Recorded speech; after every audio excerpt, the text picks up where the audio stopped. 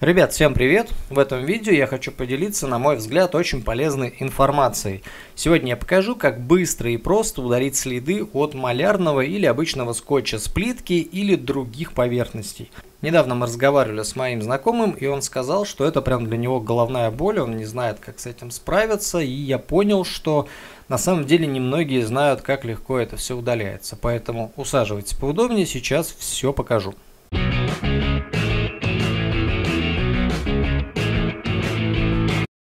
Ну и сразу же к делу. Любая вот такая липкая масса, которая остается после ленты или еще чего-либо, легко удаляется с помощью средств, которые вы видите на своем экране. Они работают абсолютно все, но самое такое безопасное, которое не повредит пластик или еще что-то, на мой взгляд, обычный обезжириватель. Универсальный, который практически на любом объекте у нас имеется.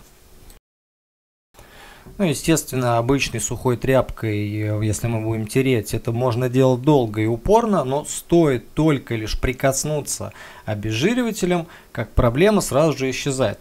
Опять же, обращаю ваше внимание, что именно обезжириватели я много лет проверял на разных поверхностях, на плитке, на затирке, также на пластике. И, в общем-то, никакого вреда для разных материалов я не наблюдал. Но все равно в начале, если вы, допустим, будете, как я, оттирать откос оконный, попробуйте где-то в невидном месте. И если ничего не произойдет, можете смело пользоваться этим средством.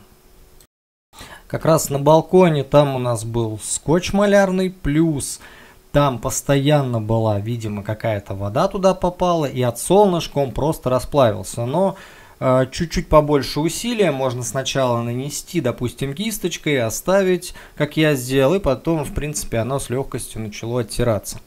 Также данную методику я использую, когда покупаю новые шпателя. Мне очень не нравится, что наклейки лепят прямо на металл. В общем-то, их отдираешь и также легко смываешь остатки вот этой клеевой смеси.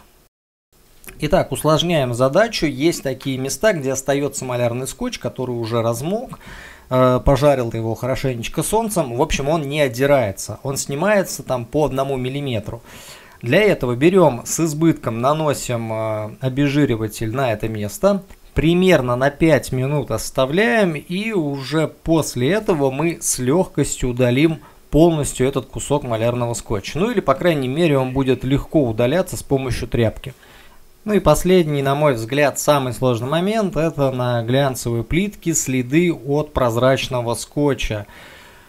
Также этим же средством очень быстро убирается без всяких следов. Ребят, вот такое вот коротенькое видео, я надеюсь оно кому-нибудь пригодится. Ставьте большие пальцы вверх и подписывайтесь на мой канал.